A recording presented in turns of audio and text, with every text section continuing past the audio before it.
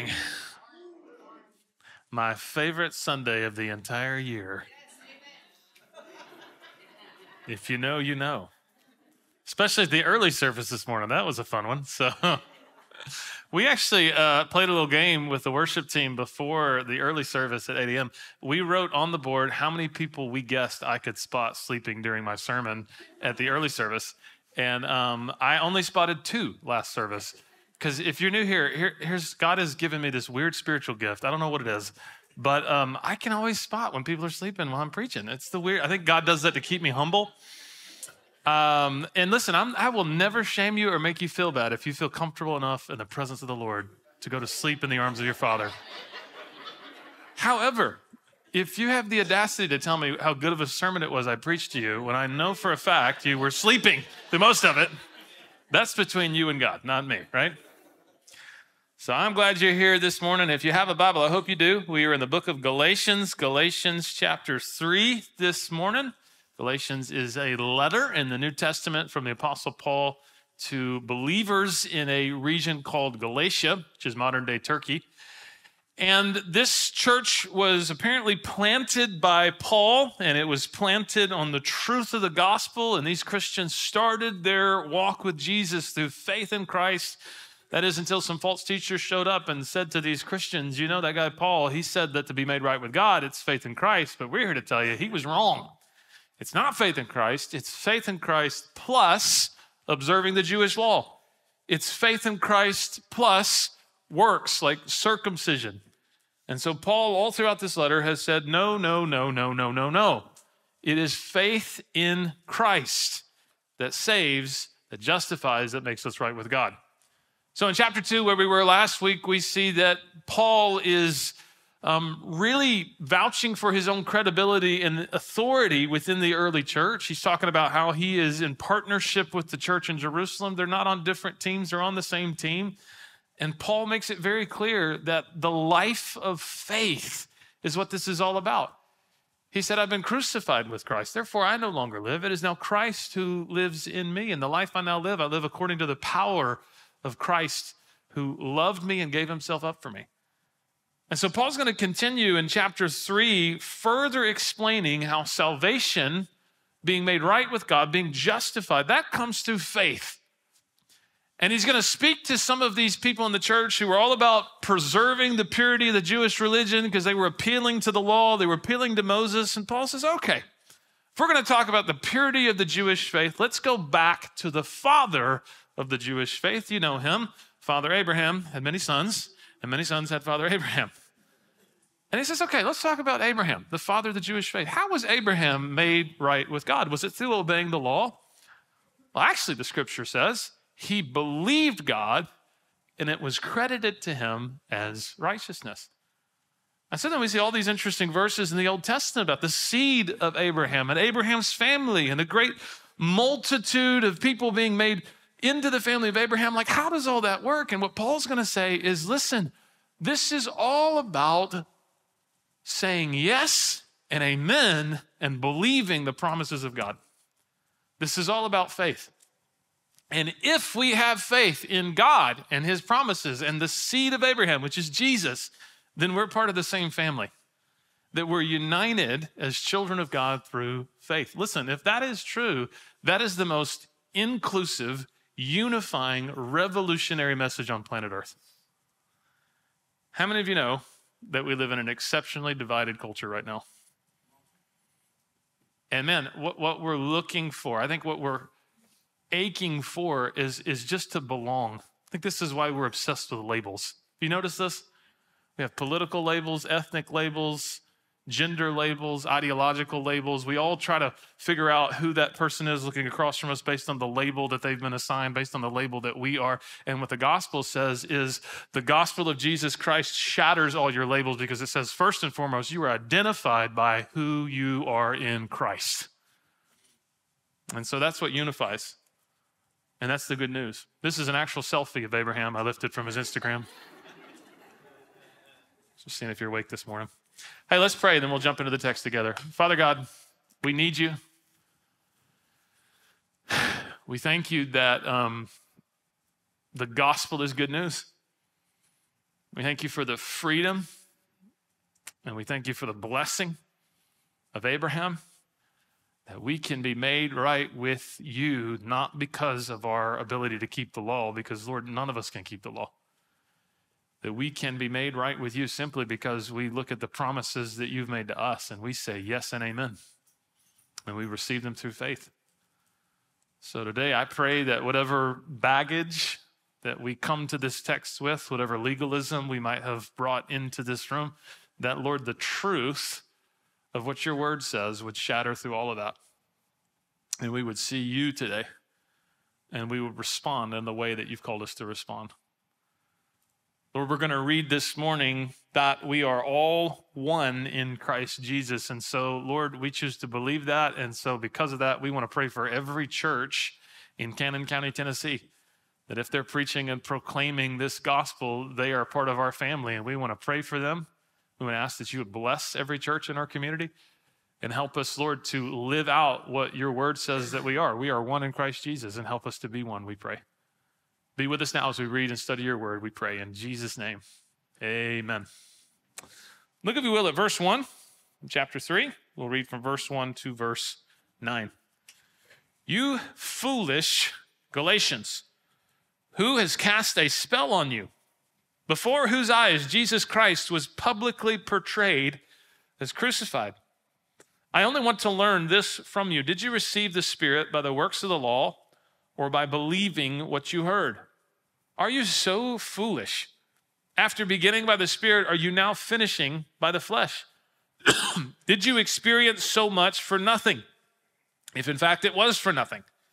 So then, does God give you the Spirit and work miracles among you by your doing the works of the law? Or is it by believing what you heard? Just like Abraham, who believed God and it was credited to him for righteousness. You know then that those who have faith, these are Abraham's sons. Now, the scripture saw in advance that God would justify the Gentiles by faith and proclaim the gospel ahead of time to Abraham, saying, all the nations will be blessed through you. Consequently, those who have faith are blessed with Abraham who had faith. Paul says to these believers, You guys are being foolish. He says, Who's cast a spell on you? Who's bewitched you? Uh, to Paul, this isn't him insulting them. This is kind of a fatherly rebuke, an admonition to them. they started their faith and walk with Jesus so well, but then they started to drift away from that. And Paul says it's like somebody cast a spell over you. It's like you've been bewitched. It's like you're not able to think or act according to reason or the truth that you've been taught. That Paul's preaching of the gospel to them was so vivid, it was so full of power. He says it was like Jesus Christ was publicly crucified before your very eyes. That you know the gospel, you know the truth, but it's like somebody's cast a spell on you. Uh, my wife and I have this very weird hobby of watching documentaries about cults. Anybody else have that hobby? oh, there's a lot of good ones out there. And one of the things that fascinates us as we're watching about some of these groups is we'll watch it and we'll just say, how could anybody fall for this? Anybody have that same thought as you watch some of this? And, and the more that I've studied cult groups and the more I've kind of thought about it, um, the more I've seen that there are some spiritual, religious, legalistic movements that can be quite bewitching. That can cause people to lose their ability to really reasonably think about how they practice their faith. And I would say that that is quite foolish. Um, and I think that's because fear is a powerful thing and shame is a powerful thing. Right? And so a group that shows up and tries to manipulate and control someone using fear and shame, that can cast a spell on someone, as it were, into them never really considering with, with what they're being told or taught or believing actually lines up with the truth of Scripture. And they think I, am not allowed to question this because if I do, somebody will tell me that I'm not a true believer. I don't really want to be spiritual or I'm a lawbreaker or what it is. And that fear and shame kind of keeps them from asking those questions and thinking about it. It's like someone's had a spell cast over them. I also think that um, the desire to be spiritually superior is also quite intoxicating. That that can kind of bewitch a person into being part of a tribe or a group that is caught up in legalism, that is caught up and that's teaching something different from the gospel, but this desire to be part of the, the few, the spiritually elite, as it were, kind of can bewitch somebody or lead them astray. This is exactly what Paul says is happening with these believers. He says, listen, you, you started by the Spirit. You've truly been born again. You began your journey with Jesus, not by law keeping, but by the Spirit. But now you're trying to live out your faith by the flesh and by the power of your own effort. So Paul asked them, Did you receive the Spirit of God? Did you see the power of God's Spirit? Did you see the working of miracles through the Spirit of God because you followed the law or because you believed in Jesus? Now, apparently, the churches in Galatia had seen mighty workings of miracles in their midst. And Paul says, Are miracles things that you earn, or are miracles gifts of God's grace? Listen, as a pastor the past 10 years, I have seen God do some amazing miracles. remember being in Uganda with another pastor, and we're doing evangelism, and we're walking around a village, and there was a woman that said, Does this Jesus that you preach about, can he make me walk? I've not walked in 10 years. And the other pastor said, Well, I don't know, let's ask him. So he prayed for her, and she got up and walked. Let me ask you a question Did that woman earn that miracle? What if I told you she was Muslim and God still touched her and healed her? And that miracle led her to faith in Christ, but she didn't earn that miracle. This is exactly what Paul's talking about. You know, the greatest miracle of all is being born again. And you can't earn that miracle, it's a gift of God's grace. And this is what Paul is getting us to see. Miracles aren't things you earn. The power and the working of the Spirit, that's not something you earn. That's a gift of the grace of God.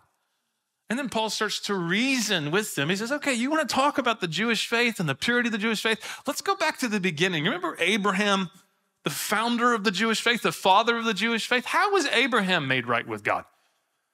Paul begins to quote Genesis 15, 6, where it says that Abram believed God and God counted him as righteous. Before he was circumcised, before he had any law to follow, Abram was still counted as righteous before God.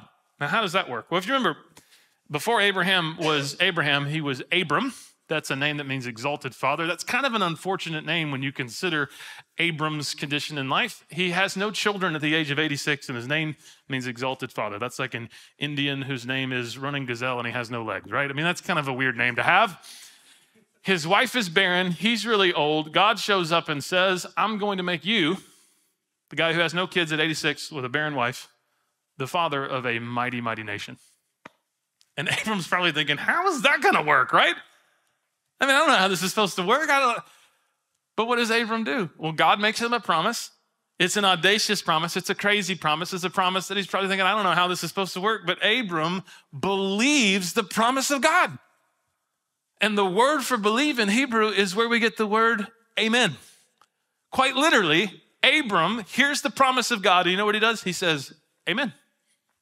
Amen. I received that. I believe it. Yes. Amen. And because Abram trusted God and said yes to God and believed God, God counted it to him as righteousness. He credited it to his account as righteousness.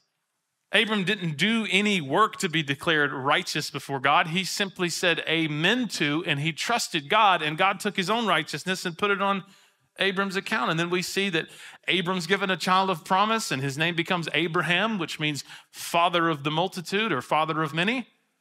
And so Paul asks the question okay, so who then are the true sons of Abraham? Those who keep the law? Well, no, those who have faith, just as Abraham had faith. And the offer to be a part of Abraham's family, that's not just for the Jewish people, that's extended to all the nations. Anybody from any tribe, any ethnic group, Jew or Gentile, who places their faith in God and says amen to the promise of salvation through Jesus the Messiah can become a son or a daughter of Abraham.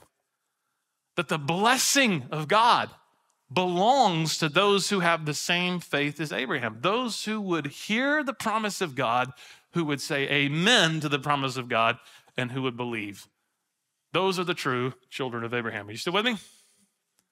Two of you. Okay, let's keep going. Look at verse 10. For all who rely on the works of the law are under a curse, because it is written, everyone who does not do everything written in the book of the law is cursed.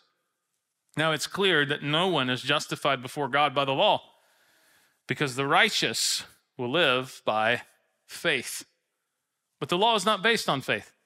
Instead, the one who does these things will live by them. Christ redeemed us from the curse of the law by becoming a curse for us. Because it is written, Cursed is everyone who is hung on a tree. The purpose was that the blessing of Abraham would come to the Gentiles by Christ Jesus, so that we could receive the promised Spirit through faith. Paul says something very, very interesting in verse 10. He says, For all who rely on the works of the law are under a curse, because everyone who does not do everything written in the book of the law is cursed. Sometimes, as I share my faith with people from uh, rural Middle Tennessee or just Middle Tennessee in general, I encounter people who have just enough religion to make them dangerous. And here's how they play their hand and show me they have just enough religion to make them dangerous. They know enough of the commands of God and the law of God, but they have a mistaken view of the commands and law of God in that they see the law and commands of God like bowling pins that they knock down one at a time. They'll say, Well, you know, I didn't bowl a strike, but I got like a seven or eight, and that's pretty good. That's still a passing score, isn't it? Because I mean, I'm not perfect, right? I mean, there's some people that, you know, are better than me, but I've not murdered anybody, I've not killed anybody, I've not cheated on my spouse. But I mean, I, you know, I still have some hatred in my heart and I lie every now and again, but that's not that big of a deal. And so when we have just enough religion to make us dangerous, here's what happens. We think our obedience in certain areas makes up for our disobedience in other areas. And then we judge our own morality on the basis of comparison. Are you following me with this? And so we, we will look at certain sins that we have in our life and we'll see them as baby decaf sins, right? Just tiny little sins, right? And then the sins of others, and whoa, that's a huge sin, right? My sin, not that bad. Other people's sin, that's that's really, really bad. And and we rely on the works of the law for saying, well, because I'm a good person, I'm trying my hardest, God's gonna let me in when I die.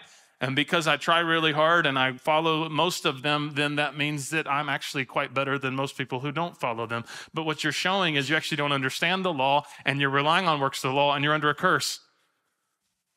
And some very religious people, not just nominally religious people, some very religious people actually do this too. In some of the traditions I grew up in, uh, we were told this law, thou shalt not smoke.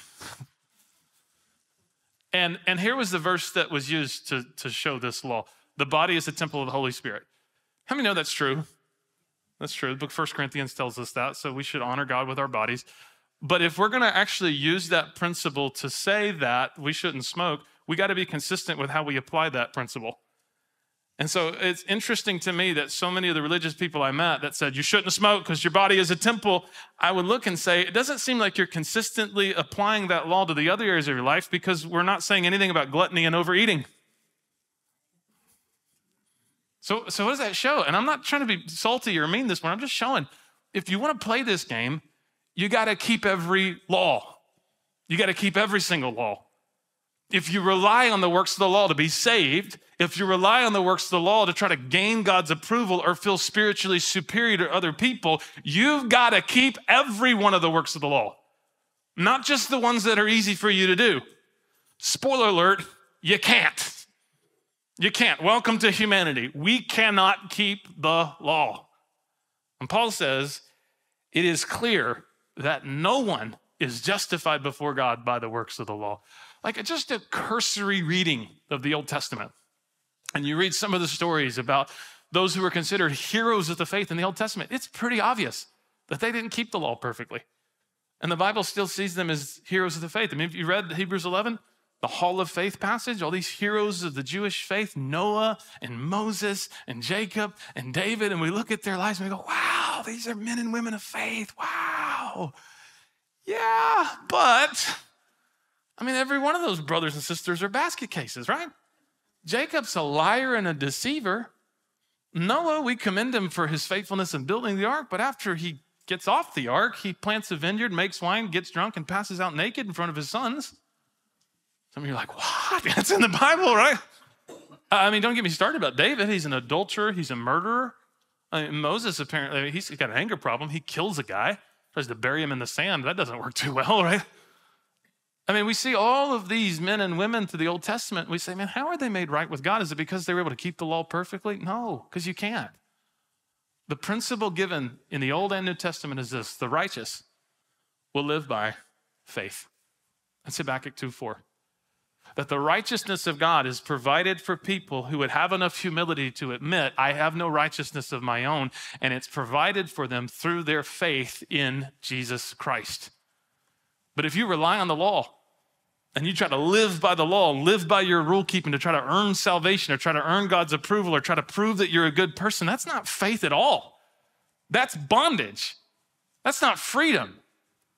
The gospel, the good news of Jesus Christ is that Jesus came to rescue us from that curse of the law by becoming the curse for us.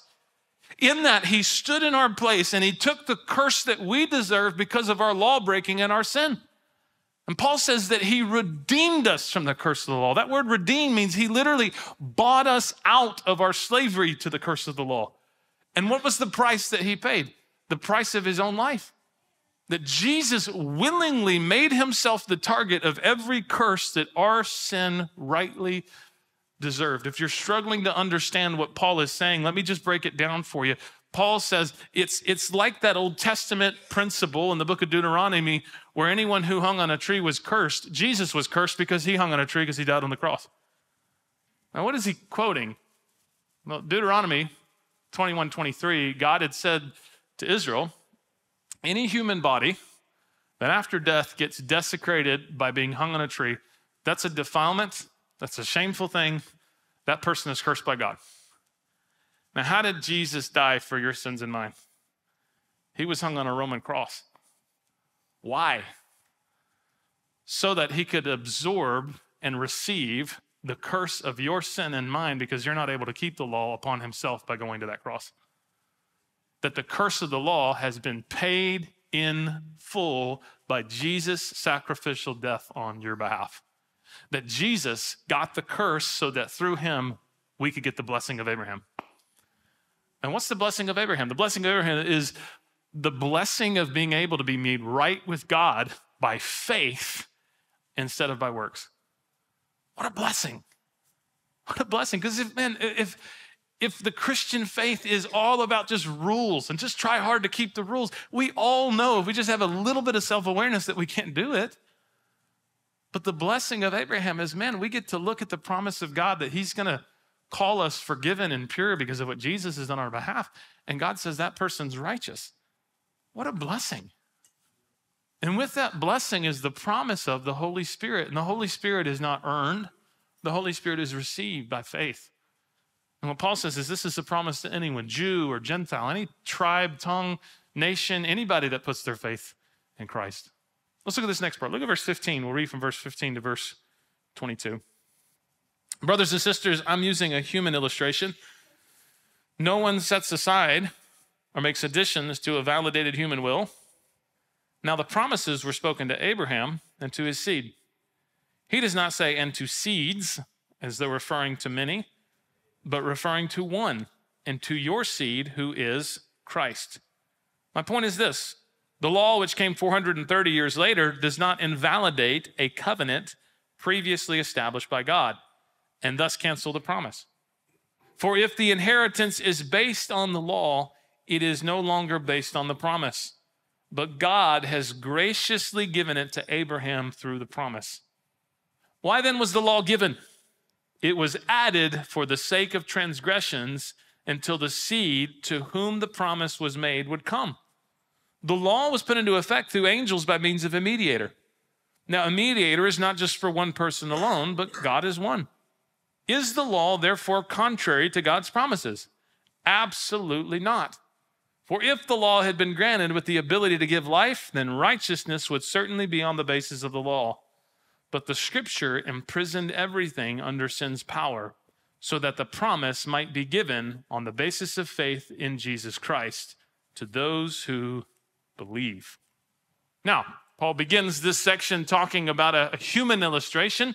He says, when somebody makes a binding agreement, some translations say that's a covenant or a, a validated human will, but it's just a, a binding agreement. Um, you, you don't just arbitrarily go back and change that promise later. That's not how it works. That covenant, that legally validated human will, that's, that's like binding. It stands and nobody can just set it aside. Nobody can make any additions to it. And what Paul says is listen, if this is how human covenants are made, if this is how they work, if this is how they operate, how much more certain is a promise, is a covenant that Almighty God makes? Almighty God, who's the same yesterday, today, and forever, he's not a man that he should lie or change his mind. He's going to keep his promises, right? So God made a promise to Abraham and to his seed. And Paul says, seed is singular, not plural. He's quoting Genesis 22 18, where God told Abraham that in your seed, again, singular, not plural, all the nations of the earth shall be blessed. And then Paul says, Who was that promised seed? That promised seed was Jesus. He's the seed of Abraham. Uh, some of you started your Bible reading plan this year. You're really excited about it. You're going to read through the New Testament in a year or the Bible in a year. And you turned to Matthew chapter 1 on January 1st. And you had your coffee and you sat down, and Matthew says, And so and so begat so and so who begat so and so. And you went, Ah, right?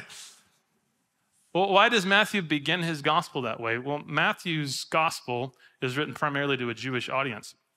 And so Matthew begins his gospel with the lineage of Jesus, and where he begins that lineage is with none other than Abraham.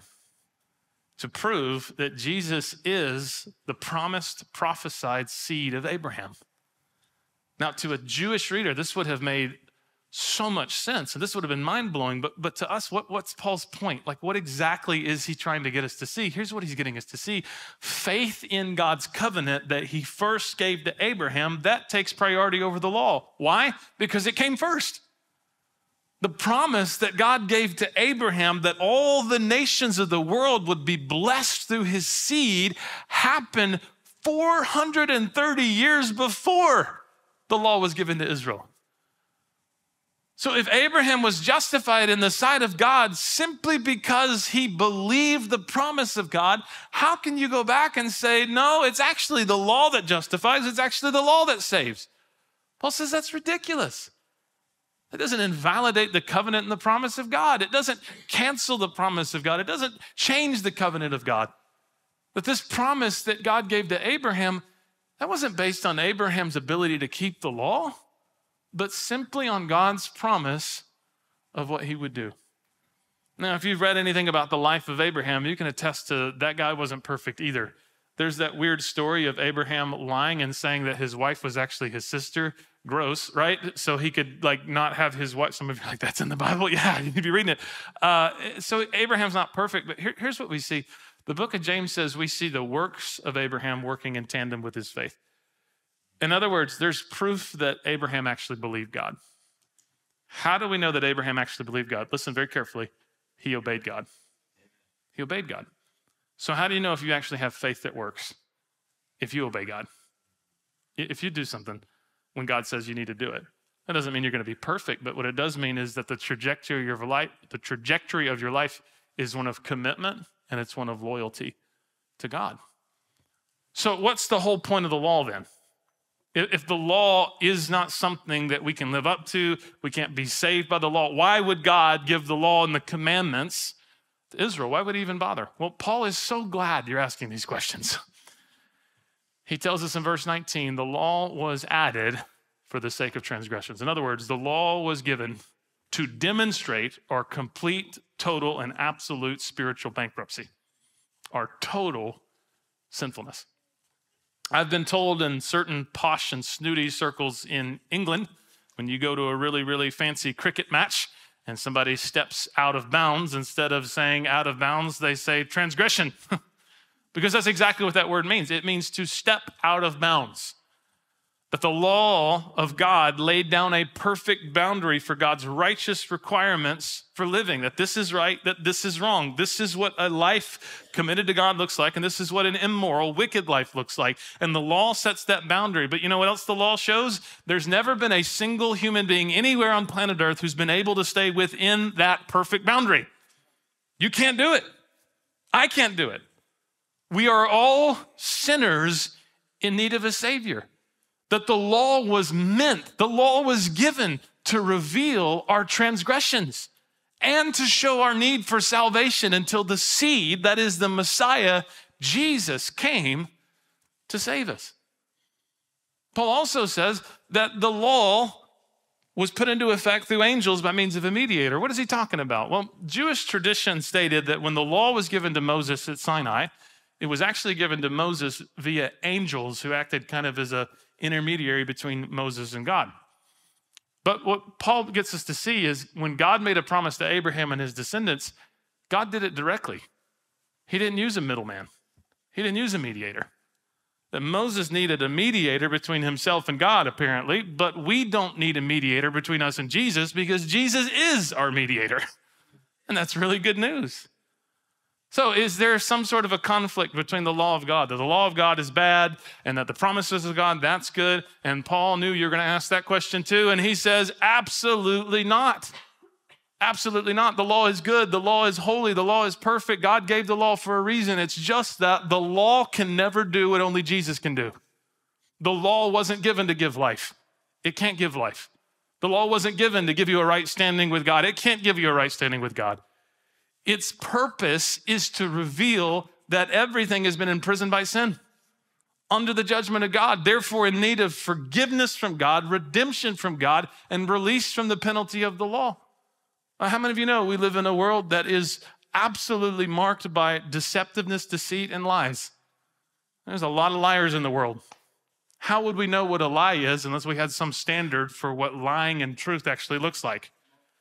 How many of you know we live in a world that's marked by sexual perversion? How would we know what sexual perversion is unless there's some sort of a standard for what God's design for human sexuality even looks like? But here's the problem. Uh, uh many of us, we amen and yes, absolutely, yes, I know the law says sexual perversion. But like some of us, you, you amen me and say, yeah, I know what the law is, but deep down you know I can't actually keep that and follow that. You know why? Because the law doesn't give you the power to follow it, it just reveals that you can't do it on your own. And what the law does is it points you to Christ. And Paul's going to conclude this section in chapter 3 with just an absolutely brilliant conclusion. Look at verse 23. Before this faith came, we were confined under the law, imprisoned until the coming faith was revealed. The law then was our guardian some translations say tutor. We'll talk about that word here in a minute. Until Christ, so that we could be justified by faith. But since that faith has come, we are no longer under a guardian. For through faith, you are all sons of God in Christ Jesus. For those of you who were baptized into Christ have been clothed with Christ. There is no Jew or Greek, slave or free male and female, since you are all one in Christ Jesus. And if you belong to Christ, then you are Abraham's seed, heirs according to the promise. So, what Paul says is this before Christ came to offer salvation through faith in his completed work, humanity was imprisoned. Humanity was in some sort of spiritual protective custody. He says it's like this He says humanity was like a child who was being watched over and guided by a tutor or a guardian. But he uses a very interesting word. He uses the word pedagogos. If you went to college and you studied uh, classes in education, maybe you took a pedagogy class. Maybe I take a pedagogy class. That's where we get that word from. And a pedagogos in a Roman family was a tutor or a guardian that had charge over the life and morals of the boys in a Roman family. That the pedagogos would follow these boys around and keep them in line. Um, my first career job when I was 21 years old is I taught seventh grade for two years, and I spent all day every day with 12 and 13 year old boys. I thought I was going into education to teach prepositional phrases and literature. I really taught two lessons every day over and over again. Keep your hands to yourself and stop talking. That's all I taught, right? And I would say those two lessons over and over again a million different ways. And I come up at the end of the day exhausted, going, man, how many times do I have to say this before these kids know to keep their hands to themselves and stop talking, right? Because I don't know if you've spent any time around seventh grade boys, I don't know if you know this. They like need a, a lot of boundaries. They, they need a lot of reminder. They need a lot of somebody just like keeping them in line, right? Some of you are amening me way too hard. I see in the back going, right? And, and, what Paul says is this that, that's kind of like what the law does before you come to faith in Christ. Whether it's the written law of Scripture, whether it's the inward law of your conscience, the law follows you around like some sort of a schoolmaster, giving you this basic sense of morality, giving you this basic sense of what is right, what is wrong, telling you when you step over the line, you stepped over that line, you shouldn't have done that. And we kind of feel it in our conscience like some shrill schoolmaster with a switch beating us on the hand and going, ah, I shouldn't have done that. But you know what else the law does?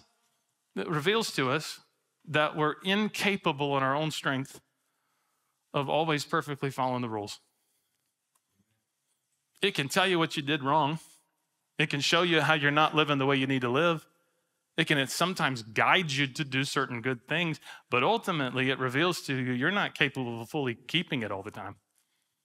But you know, the whole point of the, the pedagogos in a Roman family is that the pedagogos would help the child grow up in maturity that eventually that child's brain would develop and that child would learn things like impulse control, right?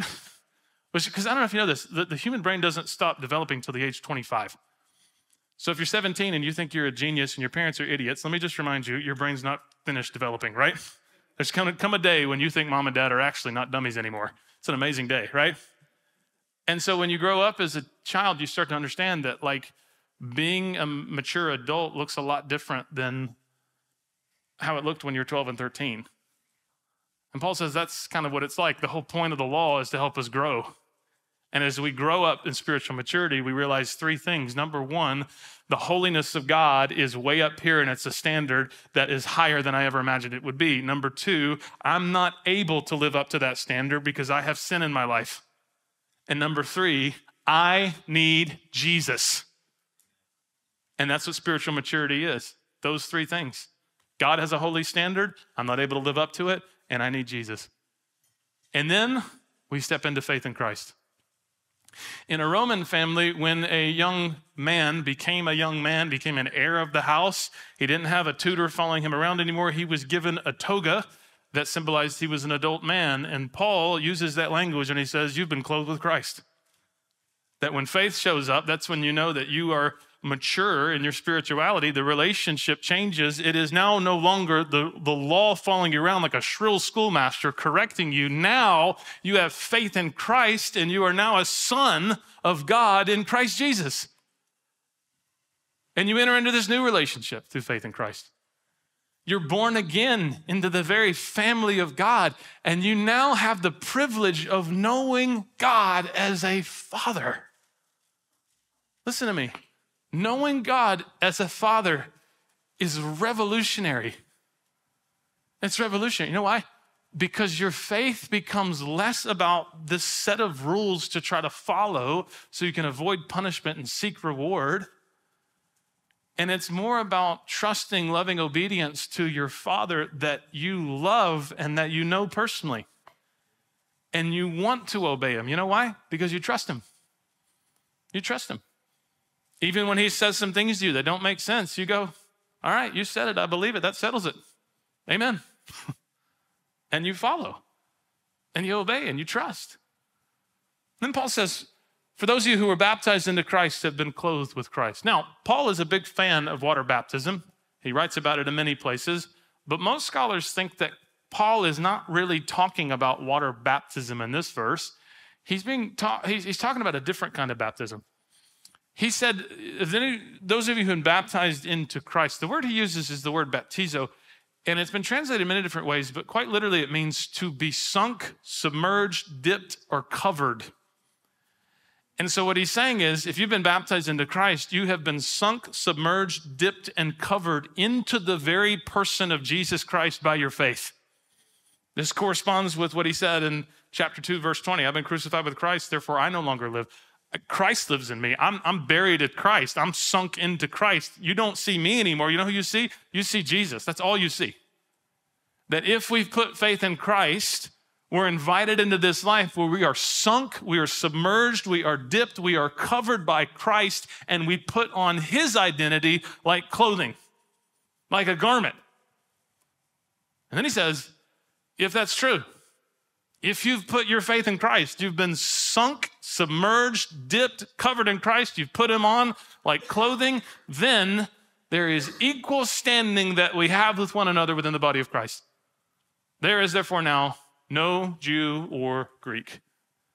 To those within this church who were feeling spiritually superior because they were Jewish and these other people weren't, he says, ethnic identities and religious pedigrees, that doesn't earn you anything in the eyes of God. He says, now there is no slave or free. Uh, slavery in the Roman Empire had less to do with racial slavery and more to do with social or economic class. But what Paul says is radical economic or social class, that doesn't mean anything in Christ's body. Man, you, you may feel like hot snot because you have a seven figure income. Whoop de doo. You know, in the body of Christ, that doesn't really matter. Now, in the world, that matters a lot, doesn't it? You feel like you're better than people because you make a lot of money? Well, in the body of Christ, that doesn't matter as much as you think it does. You are still equal with that person next to you that makes minimum wage or even unemployed. And he says, there's no male or female. Now, it's not that God completely scrubs away your sexual identity, it is that men don't have a spiritual advantage over women in the body of Christ. Anytime people say, well, Christianity is anti woman, Christianity was the most radical pro woman movement in the first century. And, and women don't have a spiritual advantage over men either. What Paul is saying is revolutionary. And it's this regardless of your race, regardless of your profession, regardless of your socioeconomic status, regardless of your gender, anyone who comes to Christ must come the exact same way, and that is through repentance, and that is through faith. And when we do, here's what we find the ground is level at the foot of the cross. There, there's no room for you to feel, feel spiritually inferior or for you to feel spiritually superior. Because what matters is that you're clothed with Christ, that we're one in Christ Jesus. If you belong to Christ, it doesn't matter your background, your ethnicity, your social standing, you're invited to be a part of God's spiritual family. Isn't that beautiful? But I just want to say something to you that you probably already know. This is a very countercultural message because it's a message that speaks of unity. And I don't know if you noticed this or not, but we're not exactly keen on unity these days. I thought it was just me and my suspicions. Then I read an article from the LA Times this past week where it documented some research done by the Pew Research Forum. And there were 17 countries surveyed in Europe, Asia, North America. And in those 17 countries, Americans were by far found to be the most divided. And here's what we do as Americans we are split along political lines, racial lines, ideological lines, social lines, and ethnic lines. Not only are we split, we're obsessed with labels. Have you noticed that? Well, what are you? Well, I'm a conservative. Okay, what kind of conservative? How far right are you conservative? Are you conservative here or are you a RINO? Republican by name only, right? Like, are you, are you part of my tribe or that other tribe? Because if you're my tribe, come on in. You're one of us, as long as you think exactly like us and you don't think for yourself. But if you're part of the other tribe, we'll hate you because that's what we do in my tribe, right? Can I ask you a question? Why is it that we do this. You know, I think it is. There is a longing in every human heart to belong to something bigger than themselves. We want to belong. We want to feel a part of something. We want to feel included. And so, what we do is we put labels and we invite people to be a part of our tribe and we give ourselves labels. And all that leads to is more hatred, more fear, and more division in our world. And in the midst of all of this, the gospel of Jesus shows up and the gospel of Jesus shatters all of that with the most unifying, hopeful message there is. And that message is if you put your hope and trust and faith in Christ, you're a part of a family that transcends all that. And that's amazing and that's beautiful and that's freeing. But the question is this are we able to see past the cultural labels? Are we able to recognize other people as human beings for, for whom Christ died? When you see another person, what do you see first? Their skin color? What do you see first? Their voting preference? What do you see first? No, they think differently than I do. They, they behave differently than I do. They speak a different language than I do. You know, that doesn't matter as much as you think it does. You know what matters more than any of that? If they belong to Christ. That doesn't just matter for other people that you see, that matters for how you identify yourself. Look, the text isn't saying that your biological sex doesn't matter. God made us male and female, and there's a beautiful design to all of that.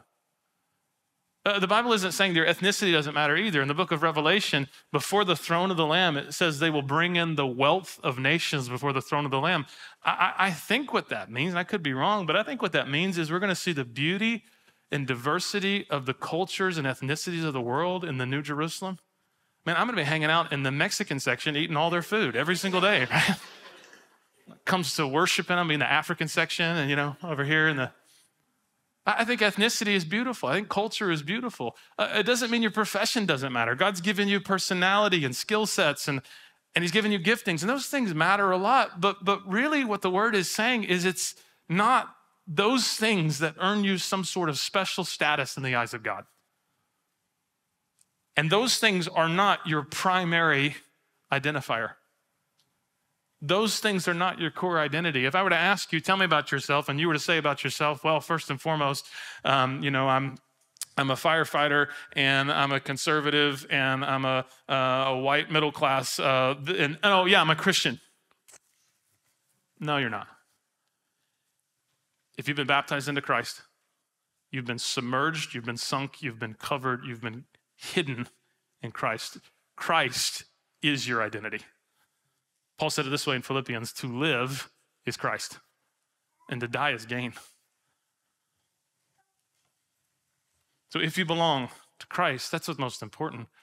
But think about that statement for a minute. Belonging to Christ implies ownership, intimacy, exclusivity, commitment. I, I, wear this wedding band on my finger to say that I belong to Jenny Brooker. So back off, ladies, right? It hurts me you're laughing like that. All the women, every time I say that, just go as if, right? yeah, so like that means that um, there's exclusivity there, there's commitment there, that there's a relationship there. Do you see that? I'll ask you a question Is your relationship with Jesus defined in those terms? Mutual, exclusive, committed? It's intimate, that there's actually a relationship that you know him personally. It's not just a set of rules or a set of ideas, it's a personal relationship because that's what you've been invited to. Personal relationship, not just with Jesus, your Savior, but a personal relationship with God as your Father. It was the Christian apologist Josh McDowell that made this observation about teenagers. He said this rules without relationship leads to rebellion. And can I tell you, as a former high school teacher, how true this is? If you run your home with an iron fist and you keep those kids in line, but you don't nurture that relationship, you'll lose them 10 times out of 10. I've seen it again and again and again and again that rules without relationship leads to rebellion. If that's true in the earthly biological family, how much more true is that when it comes to your faith? Because when we see this is just about rules to follow instead of a loving, perfect father to know, love, and trust through obedience, we shouldn't be all that surprised when over time our heart starts to become hardened through rebellion. Why? Because rules without relationship leads to rebellion. But what you've been invited into by Jesus is to be a part of God's family that God is now your father and he sees you now as a son or as a daughter.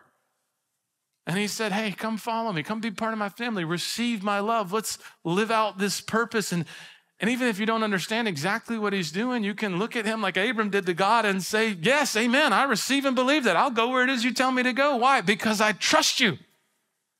I don't know where you're asking me to go, but I know where you're asking me to go is good. You know why? Because you're good and I can obey you. The question that matters as we close this morning is Have you received this love? Truly, genuinely. I'm going to ask you to close your eyes and bow your head.